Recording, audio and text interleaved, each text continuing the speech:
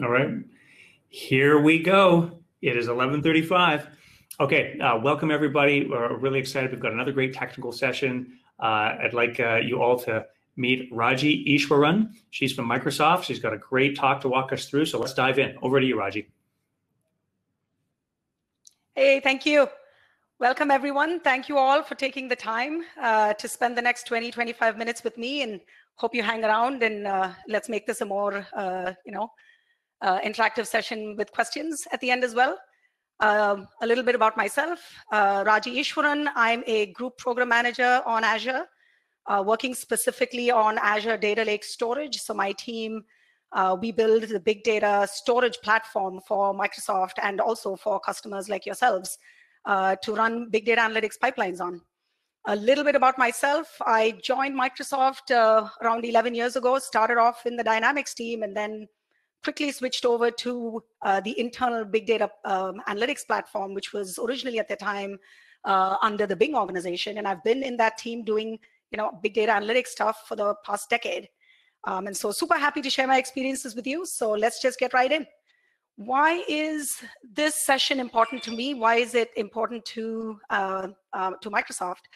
Um, and what can I share with you um, on my uh, team's experience as we built this? Like all organizations, uh, Microsoft is no different. We own and operate a lot of platforms, systems, applications that you know either fuel our uh, our company, whether it's the HR systems or the finance systems, or the products that we uh, run and offer, which is like Bing or Office or Windows.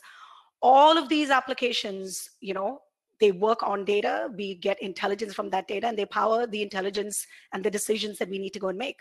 And so it's super important for us how do we think about the, the, the data lake within Microsoft? Um, we don't think of this just as technology.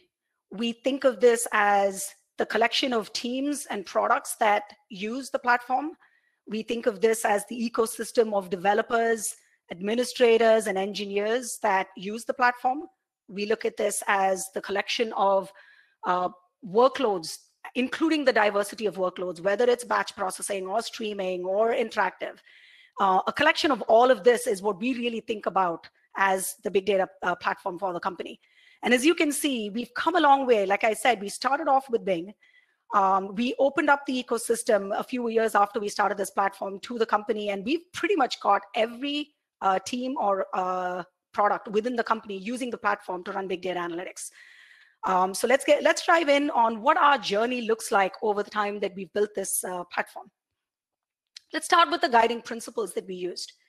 The first principle that we wanted to use was uh, you know simplicity in terms of the approach. We wanted to make this uh, a big data platform as a service.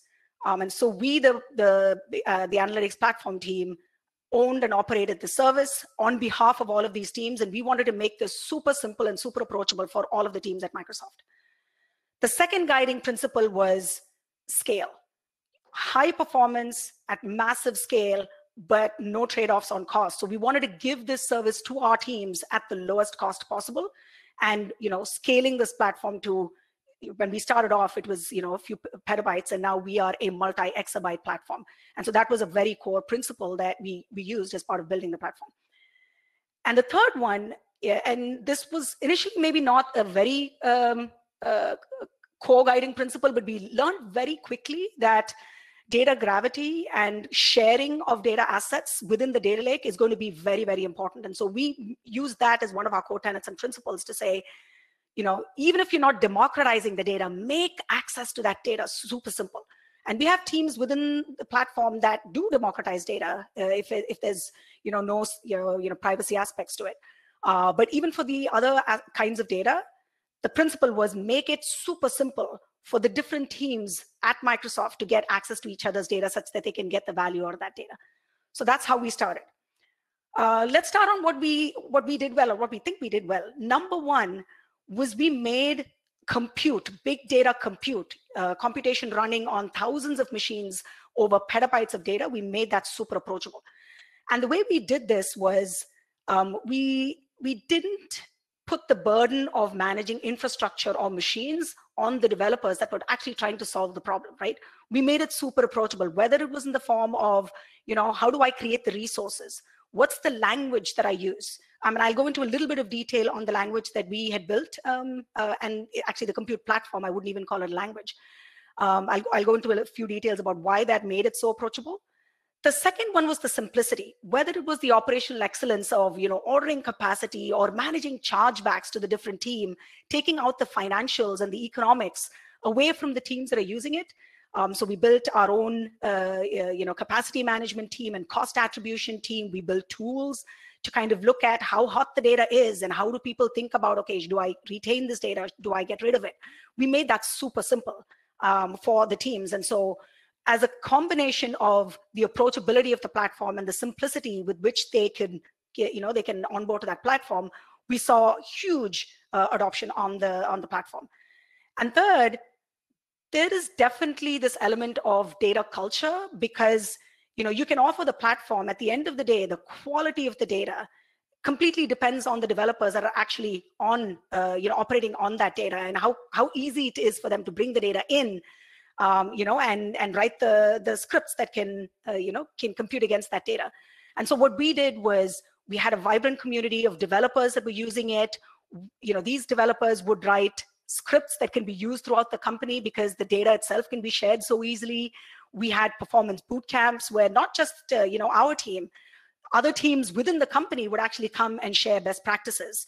Uh, you know, and so the, the the, the community was also very very uh, vibrant, and you you see this pattern you know quite uh, well adopted even in in the industry today with the open source culture that's out there. But this is what we did well.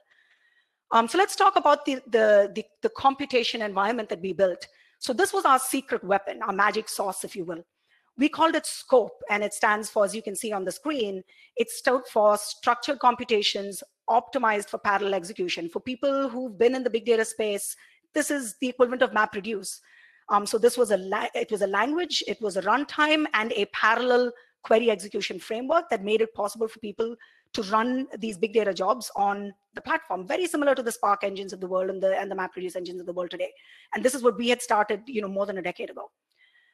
It was inspired by SQL, and so it made it super easy for you know people to onboard because they had to just write SQL-like queries, similar to like a select statement. Uh, we had extract statement to extract the data from the files that were stored on the platform. There were select statements that would uh, select data from that, uh, uh, you know, from the extraction that was just done. Output statements, just just write it. This, the third thing we did also with Scope was a lot of .NET integration. You know, we're Microsoft, and we had a lot of developers that were very familiar with .NET. Um, and I'll touch on this, the, the last element of this as well, which is extensibility. And you know, the combination of the framework that allowed developers to use .NET and extend the language. So people could write their own um, you know, functions and kind of complement the language and the capabilities that Scope already provided. So this was essentially what led to you know really broad adoption within the company. And now you know as as we've kind of progressed over time, you know we've we've seen similar things like spark and all of the other engines and we've tried to adopt some of that in in in our um, uh, uh, platform as well over time and i'll walk you through you know what prompted us to go do that. What are the challenges we faced? The first challenge is like i said one of our core uh, principles was to make sure that we had uh, scale as one of our you know our, our primary goals. And like I said, we started off with petabytes and we were growing so rapidly we needed to make sure that we were able to keep up with the demands of the offices of the world and the windows of the world. And so you know we were we were growing in hundreds of petabytes to exabytes. And um, if you attended the keynote uh, address earlier this morning uh, one of the things that people did at that time was you know build large clusters. And at the time you know even a thousand node cluster was a huge thing. We actually were able to scale our clusters to you know tens of thousands uh, of nodes while our clusters are up in the 50000 node range and the reason we did that is because of the other principle you know sharing data so we wanted to make sure that it was a huge multi-tenant system where different teams could access each other's data without increasing their costs um, and we had to go and deal with that challenge of scaling to those exabytes another challenge that we ran into was because we were growing so fast and because you know we had to go and buy all of that hardware, we ran into data center limitations.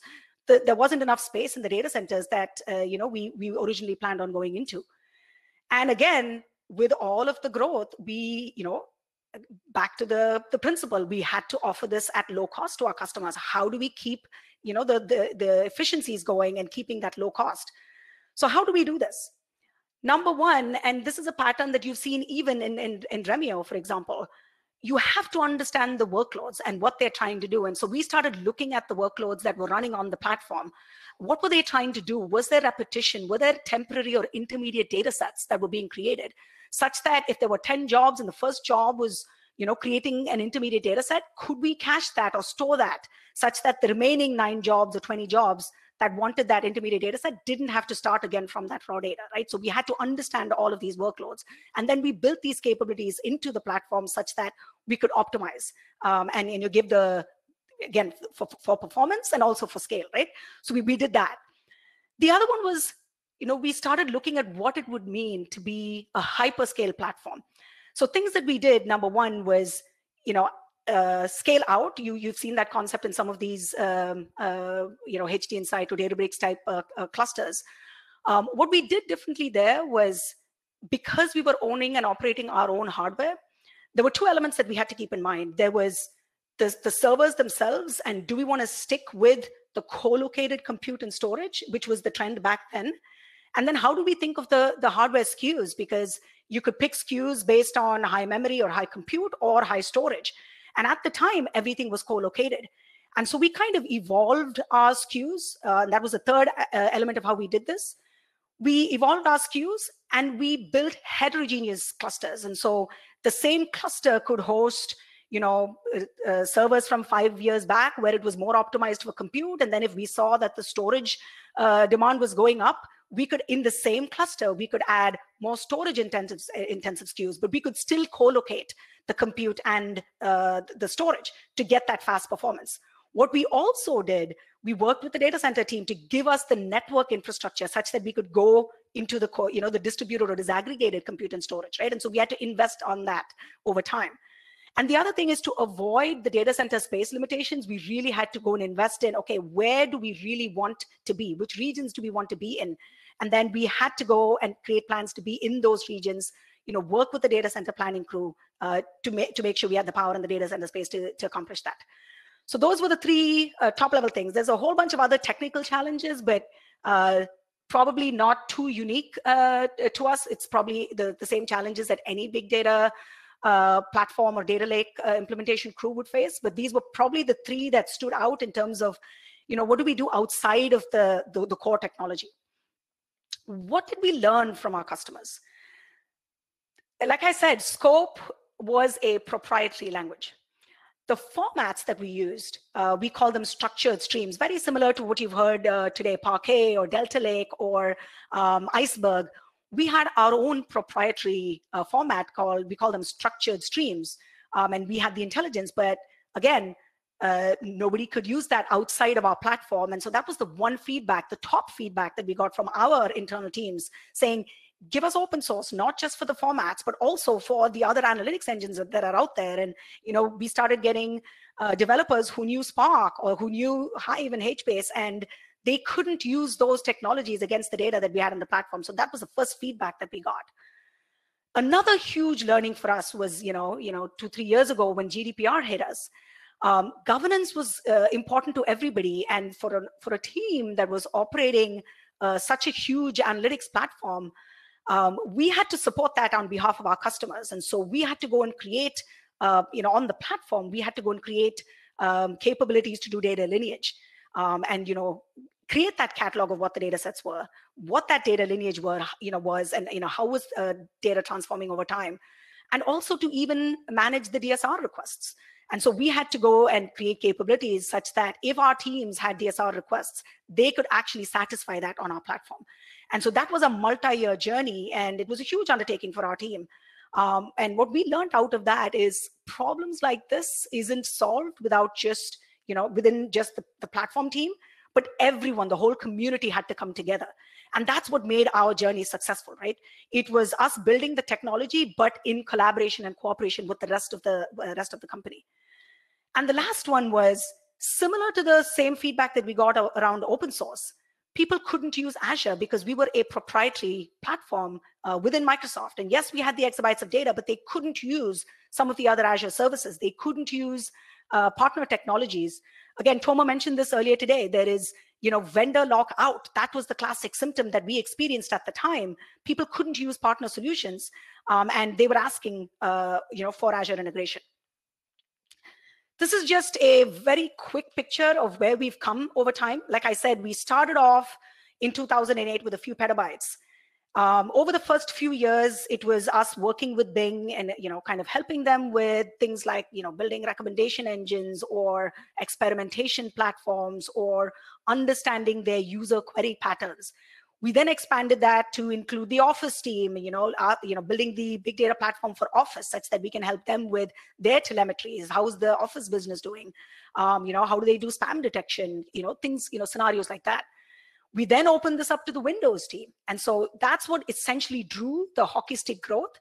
And a lot of this was the teams within Microsoft trying to understand the value of each other's data sets. And it was just, you know, uh, it, it, that was essentially another reason why uh, we, we grew so rapidly. And what you see at the tail end is essentially a result of what happened with, uh, with GDPR. And so a lot of the teams, what they wound up doing was they had to really go back and look at the data they were storing in the system and understand what they were storing it for. And there was a lot of cleanup, especially with the 30 day restriction policy. A lot of teams wound up saying, you know what, um, I, I, don't think I need all of the raw data. Let me keep the curated data, which doesn't have the PII. Um, and they they started you know curating the data to what needs to be kept and then they started getting a, a rid of uh, some of the raw data and some of the other teams did the opposite they said look i need the raw data. I'm going to keep them very very secured um, and i will you know deal with all of the pii elements as needed. And so different teams took different approaches but there was a lot of cleanup uh, as a result of gdpr so where are we headed now? This is our vision and our mission. What we want to do whether it's outside customers or whether it's the teams that we support within the company, our goal is every organization needs to extract the maximum value for their data sets. We don't want them to just come and store their data. We want them to get the max maximum value. How do you do that? And the way we're doing that is essentially our current strategy, which is we've built Azure Data Lake Storage. This is the central platform, a storage platform for building your, your data lakes everyone brings their data, diverse uh, data sources, diverse formats, bring them into the data lake. And then you get the rest of the Azure ecosystem. And you can pick based on your use cases, you pick which analytics or compute services you need. And so we built that integration with all of the other uh, compute services we have within the company. And we also took that outside and we said, look, we also want to make third party solutions available to these customers. And so this is the vision that we are on.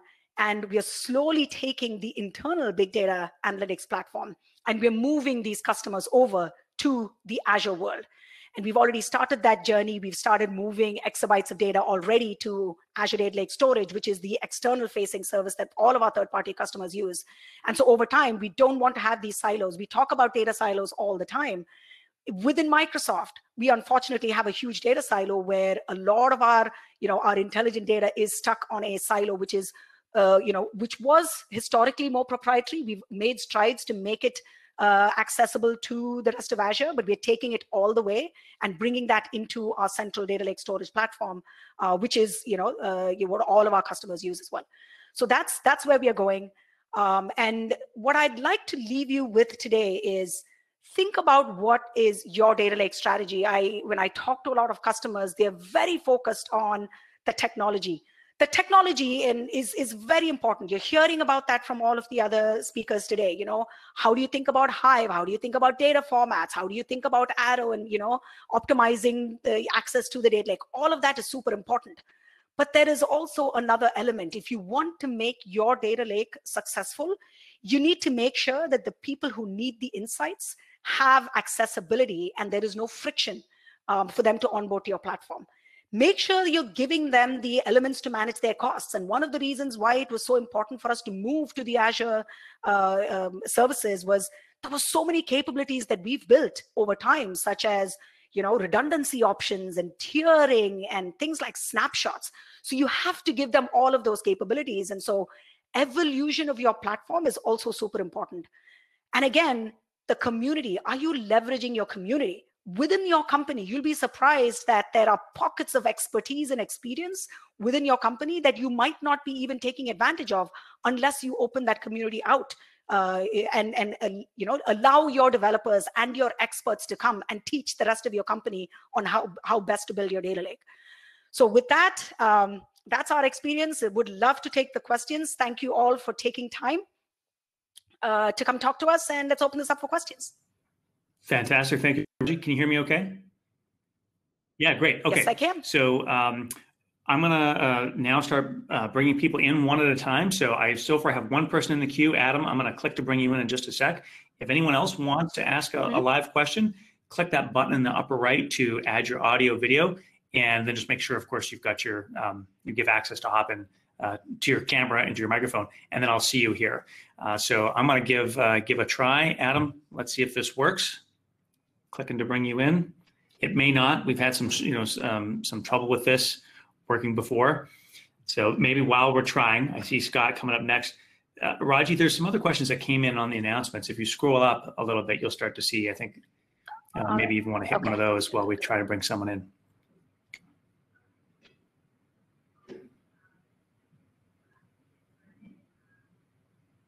I can read one off for you if you want to. Okay. So uh, sorry, Adam, that didn't that didn't work. I'm going to try Scott too in the background here.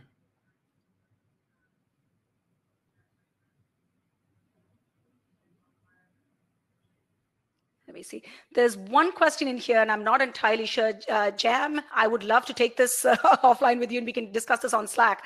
We actually store. We have, in at least in our platform, both on the internal platform side and also on the Azure Data Lake storage side, we do have petabytes of uh, data, even in single files. We can do terabits per second uh, of throughput on the platform. Um, and so billions of rows per second is really not uh, new to us because of the distributed nature of the platform. It's going to depend on um, you know how many uh, you know compute nodes or VMs you have on the compute cluster, as well as the you know how you have uh, distributed your storage. But that's absolutely possible today. We run really really large workloads uh, within the platform.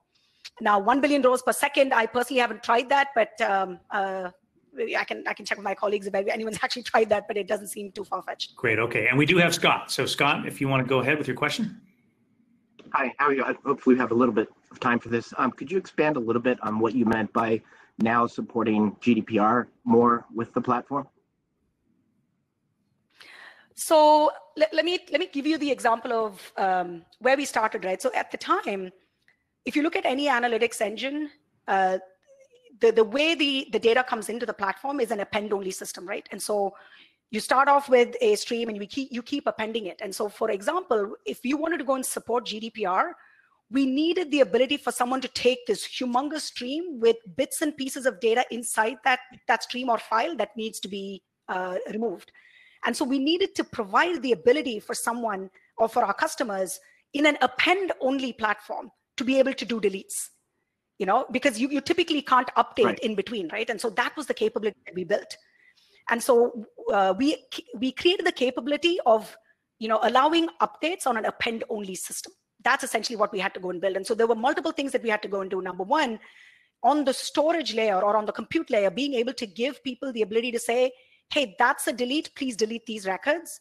And then another capability that says compact these streams such that you know if there was a delete then when the day you know when scope for example was trying to read that stream we knew that that element was deleted and we would not return it back to the user. Then we would have a compaction process to say we know there's a whole bunch of deletes that have already happened let's go compact it. So things like that is what we had to go and build and these had to be built as as platform capabilities right? And so that's what we did in an append only system. Great. Thank you. Great, thank you, Scott. You're welcome. Uh, I don't see any other live Q&A questions coming in at the bottom. So uh, Raji, if you want to go just pick another one out of the chat. And uh, yeah, let me go look. We've got, uh, got some time. Uh, so let's see. Uh, there's one from Supun. Do you use open source technologies to process data? Like I said, when we originally started, it was a proprietary platform. Uh, we used things like structured streams, which is which was a proprietary format. We used Scope, which was proprietary. Over time, what we've done is even in that platform, we allowed uh, some of the open source technologies uh, and languages to operate. Now what we're doing is because we have that data silo problem, we're saying we don't want different platforms. We're actually putting all of this data on Azure Data Lake Storage. And Azure Data Lake Storage supports all of the open source, uh, you know, technologies. Spark, you know, Databricks is integrated very well with uh, um, uh, with Azure Data Lake Storage. HD Insights is. Uh, take Dremio. We are actually working very clo closely with Dremio. You can bring any open size, uh, open source platform and just use the driver because we are an HDFS um, uh, protocol on top of the data lake storage uh, service, right? So that's that's where we are going right now. And so yes, we do support all of the open source uh, technologies to process the data. Um, another one. Give me one second. Where's my? Yeah, there's a few more too. If you if you scroll up as well, that came in kind of above my rem, uh, reminders for uh, live Q and A. Yeah. Jerry, the name of the platform, we call it um, internally, and, and the re- there was a reason why I didn't really go into the details of this. We call it Cosmos, and it's it could get a little confusing because of the uh, uh, overlap with Cosmos DB, but we actually call it internally Cosmos.